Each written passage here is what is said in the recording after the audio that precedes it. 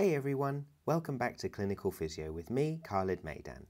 Today's quickfire Q&A is all about red flags. Five questions, 10 seconds to answer each one. So, question number one. The inability to lie in which position is a possible sign that your patient has spinal metastases?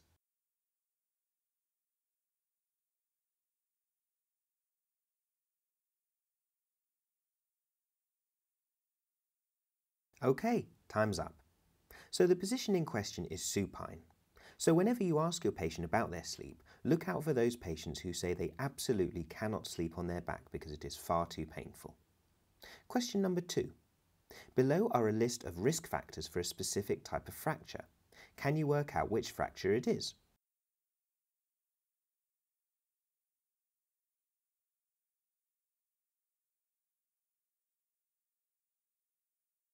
Time's up. And the fracture in question is an osteoporotic wedge fracture. Question number three. Which of these is not a red flag for cauda equina syndrome?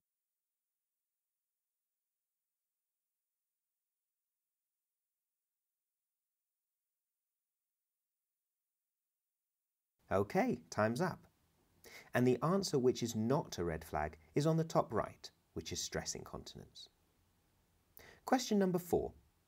Can you name the five Ds associated with cervical spine red flag pathology?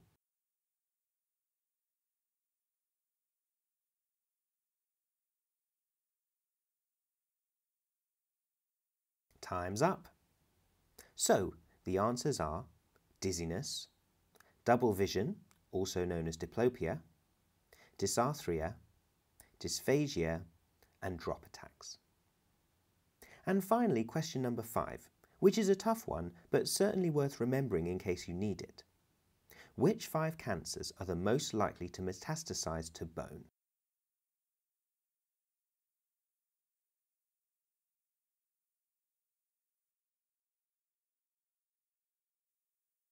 All right, time's up.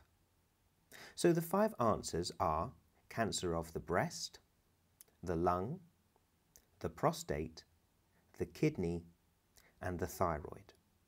This is always good to know for in case your patient presents with unusual symptoms, a history of cancer, and pain directly over bone, or even pain along bones which are uncommonly painful, such as the anterior ribs.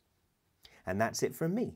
Thank you as always for watching and for even more quickfire quizzes for your revision or learning, subscribe to our YouTube channel, join us on Facebook and keep watching Clinical Physio.